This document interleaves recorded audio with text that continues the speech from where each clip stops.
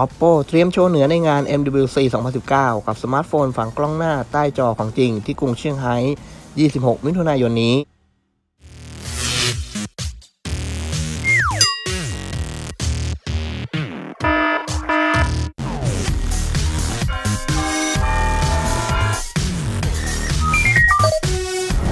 Oppo เตรียมโชว์เหนือในงาน MWC 2019 กับสมาร์ทโฟนฝังกล้องหน้าใต้จอของจริงที่กรุงเซี่ยงไฮ้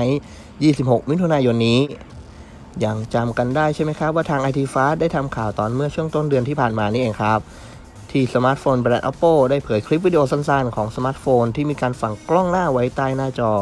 แบบไม่ต้องมีรอยบาก ติ่งหรือรูใดๆบนหน้าจอ เพื่อใส่กล้องหน้าแต่อย่างใดครับ จนเป็นที่ฮือฮากันพอสมควรสำหรับวงการสมาร์ทโฟนกันไปเลยในทีเดียวครับ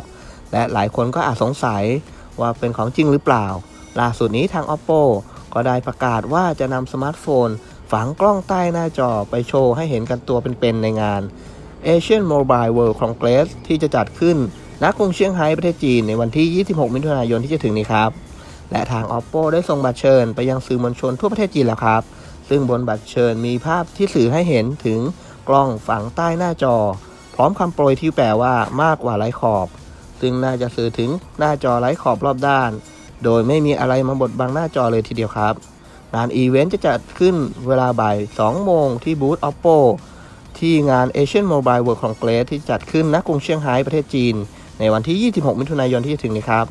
เอาละครับ คราวนี้เราก็จะได้เห็นกันแล้วนะครับ ว่าการฝังกล้องหน้าไว้ใต้จอจะเจ๋งแค่ไหนครับ